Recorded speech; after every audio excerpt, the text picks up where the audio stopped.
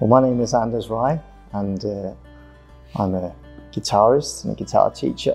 The technical work, like scales and arpeggios, can possibly be a bit tedious for some, but I think you have to try and see the bigger picture and uh, and not see it as something that's sort of separate from the pieces of music. It's it's all part of of becoming a musician, and uh, and and you know scale runs for example you have that in pieces you have arpeggios um, you use it for improvisation and and it's, it's quite an important part it. Um, so rather than seeing it as as just something dull technical I need to learn then um, see it as, as something that's valuable to the songs that you're learning as well.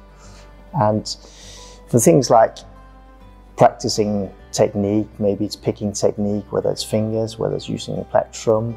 Um, you can sort of kill two birds with one stone as well, rather than sitting with maybe a chromatic exercise. You use a scale, use an arpeggio um, for that.